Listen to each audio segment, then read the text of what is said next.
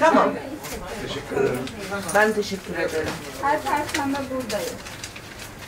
Adım Elina, soyadım Vinogradski. Ee, Atakum Belediyesi'ni çok seviyorum. Daha önce de tanıyorum birçoğunu. Uygulamanız hakkında çok güzel fikirlere sahibim.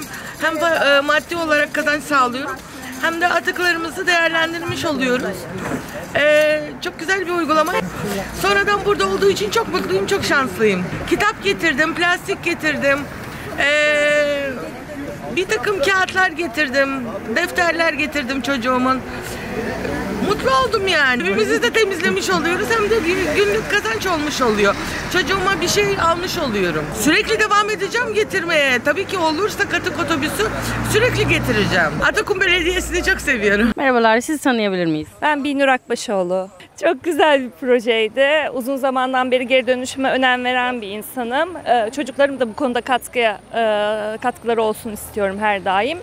Her hafta evimizden yaklaşık 3 torba e, geri dönüşüm malzemesi çıkıyor ve biz bunları sokağa atıyoruz ve bunlar binlerce yıl e, doğada e, yok olamıyor.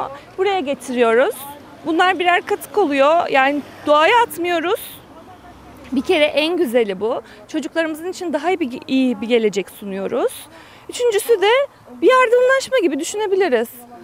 Çok güzel. Yani her daim destek olacağım bu projeye. Şu zamanlarda insanların birbirine yardıma çok ihtiyacı olduğunu düşünüyorum. Ee, ve bu gelirleri sokağa atacağımıza bir insanın e, bir ekmek olabilmesi, e, boğazından geçmiş olması ve ona mı verebileceği mutluluk bence hiçbir şey değişemez. Soyadınız neydi? Volat. Volat. Çok hoşumuza gitti. Niye çöpe gitsin? İhtiyacı olan olur, olmayan olur. Hayrın için verirsin. Bugün buraya evde olanlardan çöpe gitmesin. Hayat pahalılığı. Bir yardım katkıda bulunmuşsun. Hem devletimize hem milletimize, çoluğumuza, çocuğumuza diye evimizde olanlardan getirdik. Hayat devam ediyor her şekilde. Tabii ki niye getirmeyelim ki? Çok güzel bir şey. Her şeylerimiz boşa gidiyordu. Yazık oluyordu yani. Merhabalar, sizi tanıyabilir miyiz? Uğur Başar.